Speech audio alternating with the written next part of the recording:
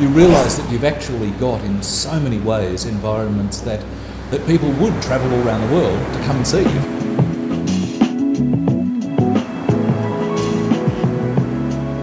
I think it's pretty good. I like it. It's um, not every day you get up close to, to see something like this, is it? The lifestyle, the coast, everything. It's just beautiful down there.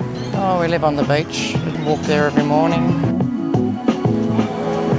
When they see what we've got, you've got over here one or two places in the world to catch marlin from the shore. And if you're out here and there's, there's marlin going off, they wow. Stand out on the top of Point Perpendicular. It's one of the wildest experiences you can have anywhere. And a lot of boats from Sydney come down here because it's just a, it's a fabulous place to sail.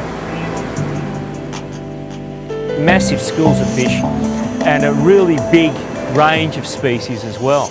We have giant stingrays that are uh, as wide as a small car and they'll glide up under the board and just you can almost see them look up at you and then they glide off. They're, they're just so beautiful.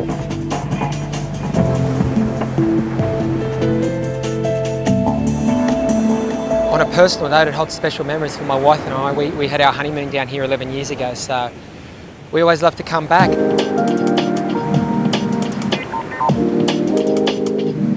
Your name's not Daniel time at lifestyle. Husky Pub, just right on the corner there.